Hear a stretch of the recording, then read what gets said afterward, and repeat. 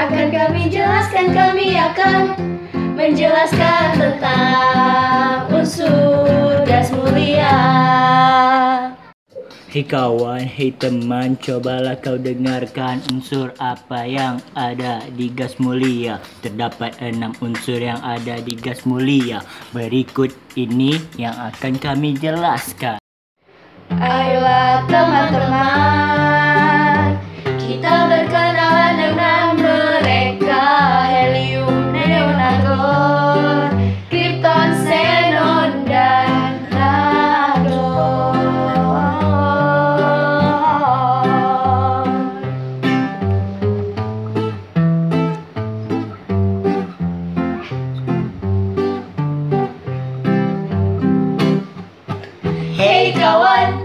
cobalah coba tebak apa yang akan kami jelaskan. Kami akan menjelaskan tentang unsur gas mulia.